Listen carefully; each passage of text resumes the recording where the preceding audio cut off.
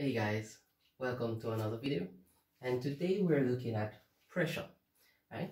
So pressure is the effect of a force on an object's area, right? So if you apply pressure, you're basically looking at the force per area that you're applying the pressure to, right? So the area is important in terms of pressure because it can be a great force that's being applied but if it's being applied to an area that is wide, then the pressure is low, right? But if you apply that great pressure, that great force to a small area, it creates a greater pressure, right? So let's examine that, right? So I've known, you probably have noticed some videos where persons actually can throw a needle, right? So those monks, throw a needle through and actually cause it to break a glass, right? So why do you think that is a needle can do that trick, right? And that's because of this equation. So we want to get a high pressure to hit the glass in order for it to, to break.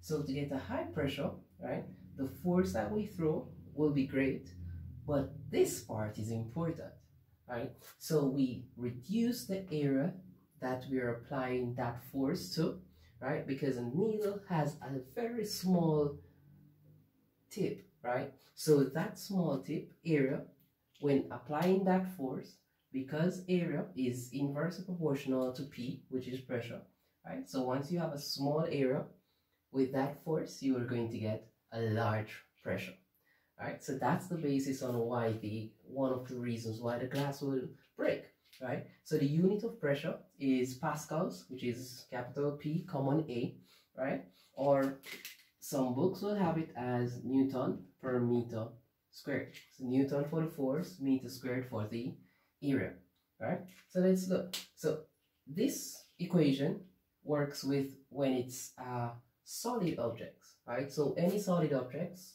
pressure can be defined by the force divided by the area, right? So if we have a box of dimension, length 5 centimeters with 3 centimeters and height 2 centimeters, what's the, and has a mass of 0.5 kilogram, cal calculate its pressure it exerts on a table, right? So the key thing here is that the box that we have, right, if we place a box on the table, the only part that touches the table is the, the length of the table and the, and the width. The height of the table does not apply to the area that the, the box is being covered with, right? So in this case, the height of the table the, the box is not important, right? Because the area that the box covers would be the length and the width, right? So because we're given mass, we know that the mass can be used to find the weight, which is the, which is a force, right? So we find weight by multiplying mass times g, gravitational acceleration, which is 0.5 times 10, which we get 5 newtons, right? And the area, right? So remember this is 5 centimeters with length. So we have to change it to meters. So we divide by 100, we get 0 0.05, right? And then we have 3 in width. So we divide it by 100 again, we get 0 0.03.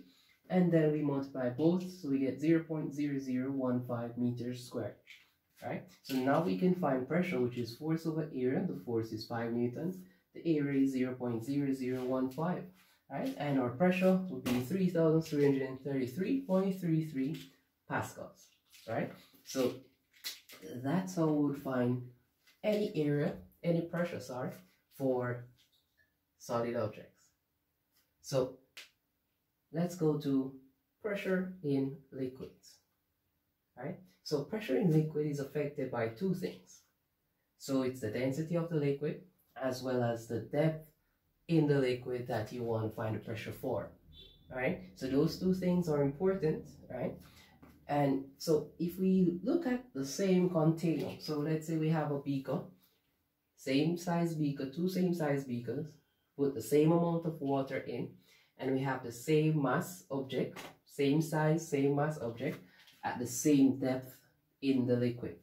So the pressure that the liquid exerts on this object, right, would be dependent on how far it is down the liquid, which is the depth, right? Because whatever liquid is above it would cause it to actually pressure down on the, the object, right? So if the object is close to the top, there is little bit of water there, so it's the pressure is less.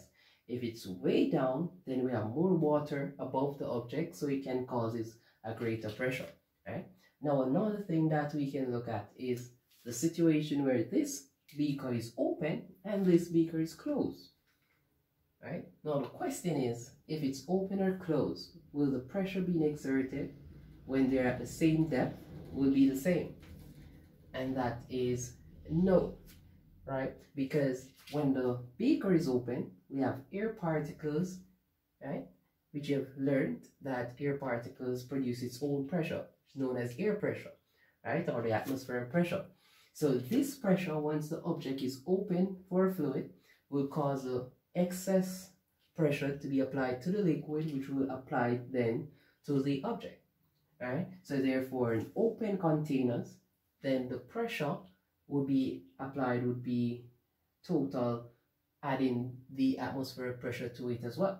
So pressure in liquid, so once it's closed, air particles not able to apply their pressure to it, so that pressure is rho GH. And rho, which we know is the density of the liquid. G is gravitational acceleration, which is 10. And H represents the, the depth, right? So once it's closed, pressure is rho GH. If it's open, then pressure is rho GH, which is for the liquid, plus the atmospheric pressure that's being applied by the air particles, right? And the atmospheric pressure at room temperature is 101325 pascals, right? So let's look at applying this principle of pressure in liquid to a little demonstration that we normally use.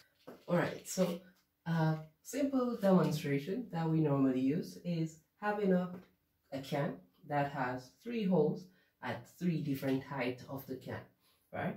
And we continuously add water to the can. So because of that, right, the water has its pressure, right? So based on the pressure, it's going to actually cause the water to spill at different distances, right? So remember, the further you go down, the more pressure you have, right? So if it has more pressure, then the bottom one will cause the water to spill out further, right? The further you go up, the closer the water will be spilled to the to the can itself, right? So the bottom one has a greater pressure, so it causes the water to spill further. The top one has less pressure, so it just causes the water to spill at a shorter distance away from the can, right? So the pressure in liquid is a principle that is used in everyday life, and a primary one is the hydraulic systems, right? So the hydraulic systems, let's look at the one in the ones in a car, right? So the hydraulic system in a car, this is just a simple diagram of it, right? So we notice that this side, the area of this tube, smaller than the area of this tube. So let's see why that's the case. So in this entire casing, we have the hydraulic liquid or the brake fluid that you would call it, right? So the purpose of it is to transfer the pressure that is being applied from one side to the next side, right? So the same pressure that's being applied right at X here would be the same pressure that is felt at, at Y, right? Because the depth of both of them will be the same. So X equal Y equal H. So both X and Y have the same depth in the liquid. So it doesn't matter the shape of the liquid. Once the, the depth is the same, the pressure is the same, right? So if we look at piston A, piston A is connected to the brake pedal, right? So when you apply a force to, to this pressure, right? So you apply a great force, right? So you want to stop the car suddenly. So you put on a great force on the pedal, right? then you notice the area of this piston, right? So this is called a piston. So the area of piston A is very small, right? And based, because this is a solid, we have that. So the pressure that's going to be created will be great because we're using a great force, right? And a small, it's a small area, great force. So therefore your pressure increases. So that increased pressure will be projected onto the liquid, right? And that high pressure is transferred over to Y because it's the same depth of X and Y, right? So now we have a great pressure now going up on your piston B that's connected to your brake, your brake pads, right? So those are the things that closes on your wheel to stop it, right? So on in this now, we notice the area is, is big, right? So the area is big. So the purpose of this area being big is because we want a great force, right? So a great force in order to clamp onto the wheel to stop it. So if we need a great force, right, and our pressure is great and area is great, to find force it is P times A. So if P is great and A is great, then we're going to get a pressure that is also great because all these two are they proportional to F.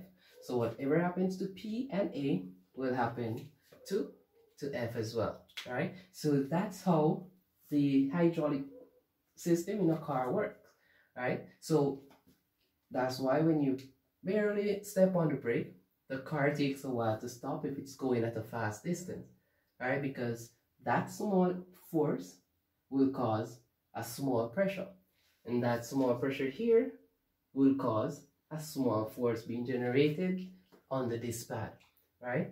So that's how the hydraulic system works, right? And I hope you guys understand about pressure in solids and pressure in liquids today, right? And see you guys next time.